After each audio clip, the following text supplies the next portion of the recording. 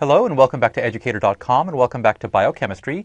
So in today's lesson we're going to be discussing amino acid catabolism. So let's just jump right on in.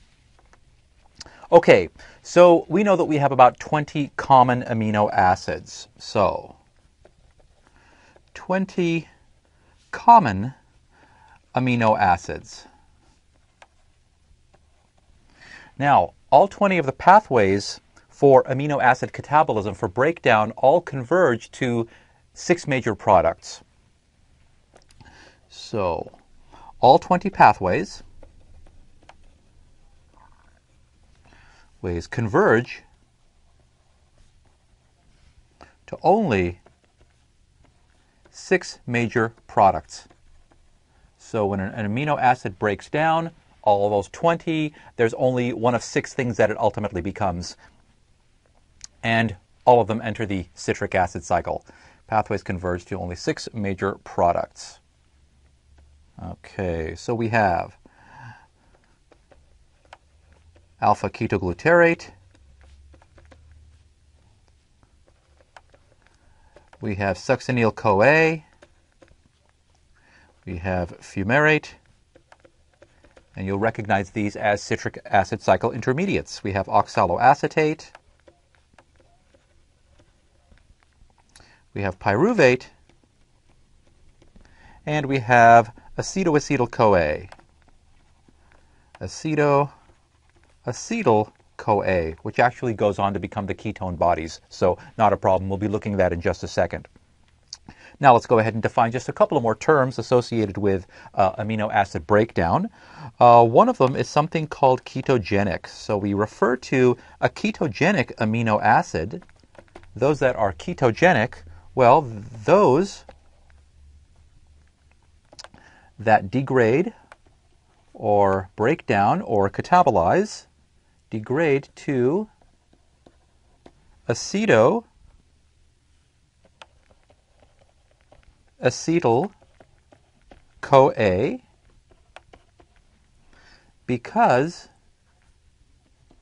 they can go on to form ketone bodies in the liver can go on to form ketone bodies.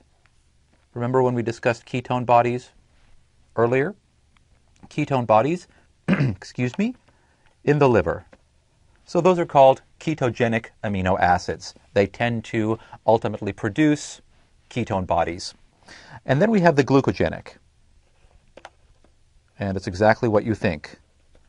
The glucogenic amino acids are those that degrade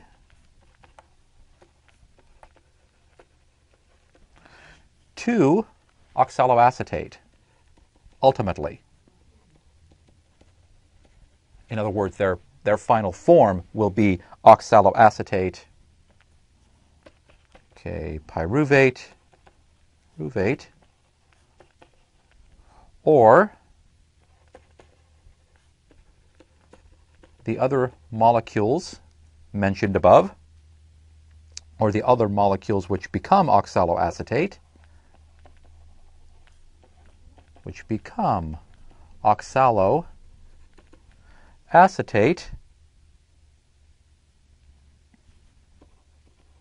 via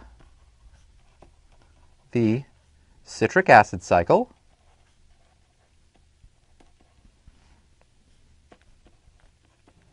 because they go on to form glucose. They go on to form glucose in gluconeogenesis. So, ketogenic amino acids, glucogenic amino acids. Okay, let's go ahead and take a look at a, um, at a diagram of amino acid catabolism. So we'll spend a couple of minutes on this and just sort of get a sense of what's going on. So let's look at the legend here. Um, these amino acids are listed around here, and as you see, this is the citric acid cycle. Here is oxaloacetate, citrate, isocitrate, alpha ketoglutarate, succinyl CoA. Back up here, here's where acetyl CoA from pyruvate comes into the citric acid cycle.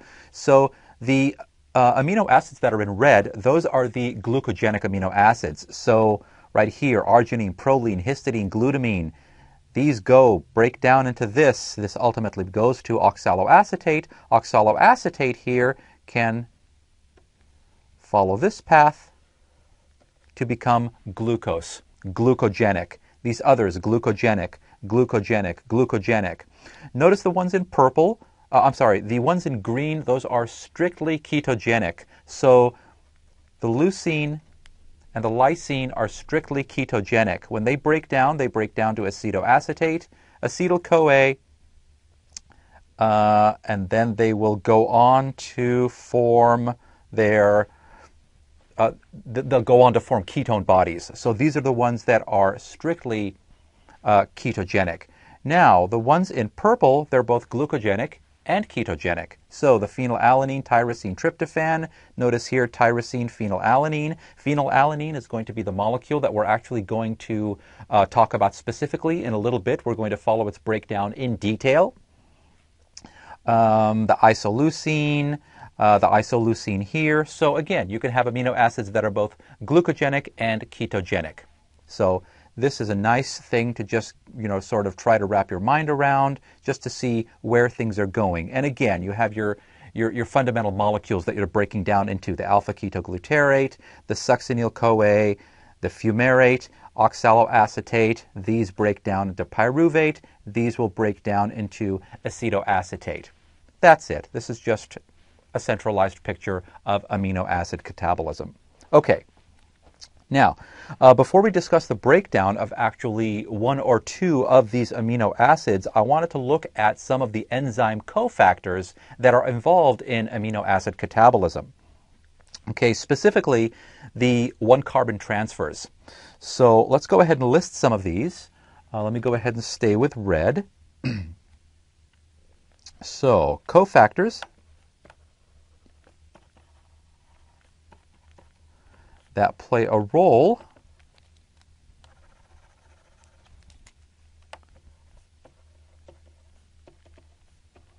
that play a role in amino acid catabolism.